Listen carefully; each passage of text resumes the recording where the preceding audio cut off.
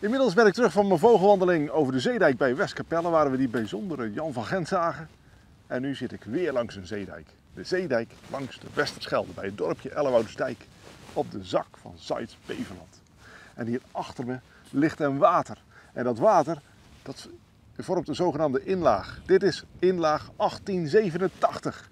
Ik denk dat deze inlaag aan het eind van de 19e eeuw is ontstaan. Misschien door een dijkdoorbraak. Misschien doordat de dijken toen zijn verlegd. Want wat zie je? Je ziet de hoge dijk langs de Westerschelde. Die beschermt het land tegen overstromingen. En je ziet hierachter dat de inlaag wordt omringd door een lage slaperdijk. En daartussen, tussen de hoge dijk en de lage dijk, daar is het drassig land. En op dat drassige land, ja, daar zie ik weer veel vogels. Kievieten, die vooral. En wat is nou aan de hand met de kievieten? Nou, die zijn ontzettend waakzaam. En daarom zie je in de buurt van kievieten meestal ook andere steltlopers.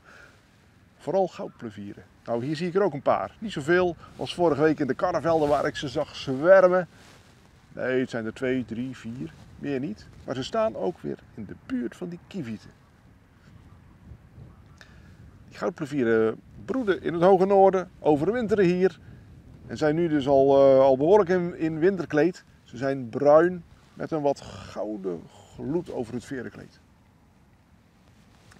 Ik zie ook kluten op een eiland. Daar staan ze uit te rusten.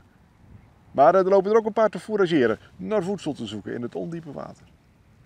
De mooiste waarneming vond ik deze groep zwarte ruiters. Die zwarte ruiters zijn ranke steltlopers. Ze lijken wat op de tureluurs die ook in Nederland broeden. Maar uh, die zwarte ruiters zijn wat grijzer, wat slanker. En hebben een wat langere snavel. En vaak een opvallende witte oogstreep. Nou, en dan keer ik weer even terug naar de kievieten. Die staan op een eilandje waarop ook twee lepelaars staan uit te rusten. Een kleine zilverreiger kwam voorbij vliegen. Helemaal aan de overkant van die inlaag.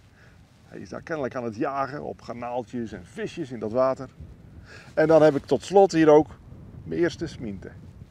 Sminten zijn kleine eendjes. Ze broeden in, in Siberië op de toendra's en overwinteren massaal in Nederland. Voor de smint is Nederland een van de belangrijkste landen om te overwinteren. Ja, hier vinden ze uitgestrekte graslanden. De boeren zijn niet altijd blij met die sminten, want ze vreten echt ontzettend veel gras. Maar ik vind ze wel mooi. Nou, hier zitten er dan al twee. Dat zijn voorboden voor de rest. De rest, de horde, die moet nog komen. Nou, even 20 minuten, een half uurtje, vogels gekeken. Hier langs inlaag 1887. En dat kan dus prima. Lekker vanaf een landbouwweg. Op een stoeltje, vogels kijken en kijken wat er allemaal gebeurt in dat gebied. En dat was mooi. Zoals het overal mooi is langs dit soort gebieden.